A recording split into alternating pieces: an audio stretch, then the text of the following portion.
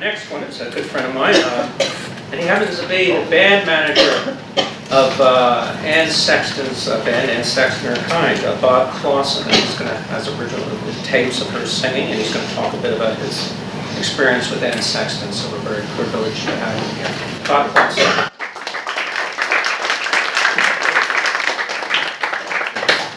I have 15 minutes and 13 minutes of music, so it's only two minutes of talk, and I've just changed my theme entirely. Thank you, Lau, um, for adding to what is a remarkable coherence between Ann Sexton and musicians. People doing something as simple as with a guitar, or doing a full opera. And it's been done again and again and again. Uh, Peter Gabriel always helped me with the, with the, uh. Conrad Souza? Conrad Souza, yes. And you're going to hear now the very first music that Ann Sexton did with, with groups of people. And these are just three selections from many, many. Um, there's only time for three. One is simple with the guitar, the second is with fusion jazz, a whole group playing, and the last one is country. Okay? She can do it all. She turned the light out, and the dark is moving in the corner. But remember, I don't make too much noise. And frankly, no one has to lug me out. And I don't stand there in my winding sheet. I'm a little buttercup in my yellow nightie,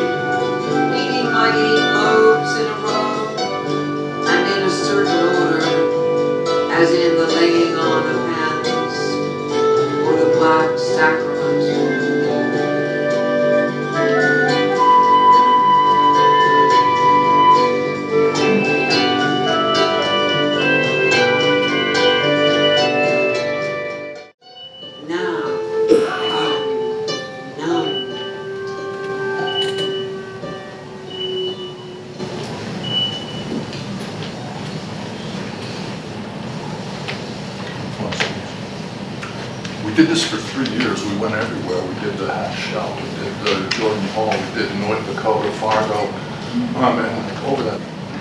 Now, Anne was an autodidact, and she knew an awful lot of music, and luckily she knew Brecht and Weill. And I said, think of Montagoni. They run a really schmaltzy tune against the bitterest lyrics. Oh, now that moment, we now must say goodbye. We've lost our old mama and must have whiskey and a little wine.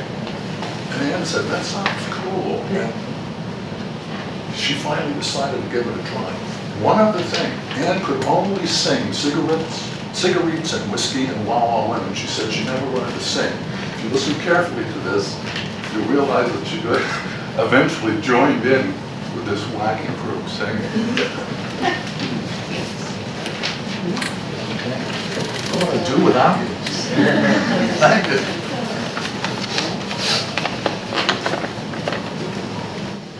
My doctor, the comedian I called you every time, and made you laugh yourself when I wrote this silly rhyme. Each time I give lectures or gather in the grounds.